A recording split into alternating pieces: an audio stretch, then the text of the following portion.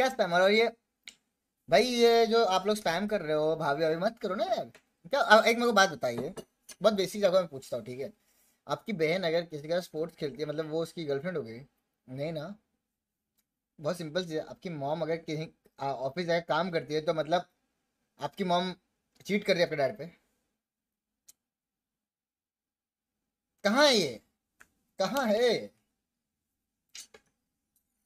इसका मतलब है सोचो ना खुद का दिमाग लगा के सोचो। इसका मतलब इनकी मम्मी कहीं पे काम करने वाली थी मतलब हाँ हमारे नए पापा। हमारे नए पापा, ऑफ़िस में। कसम से यार, हमारे नए पापा आ गए ऑफ़िस में। एकदम अरे एक सिंपल चीज़ में ऐसे कुछ ऐसा, इसे ऑफेंड नहीं कर बस बेसिक बता रहा हूँ यार। बताओ झका से बता अरे भाई, बस बेसिक चीज़ बता रहा हूँ यार।